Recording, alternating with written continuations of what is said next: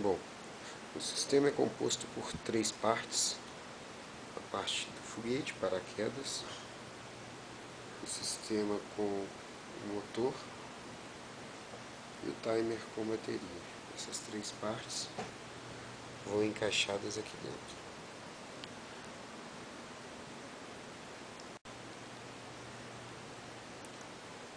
Bom pessoal, vamos ao teste timer ligado.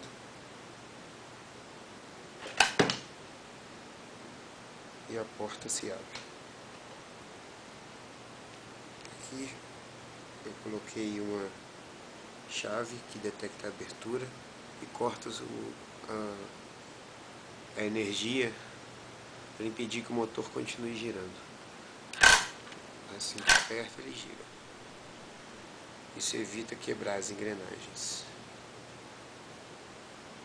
desliga o timer. Dentro da portinha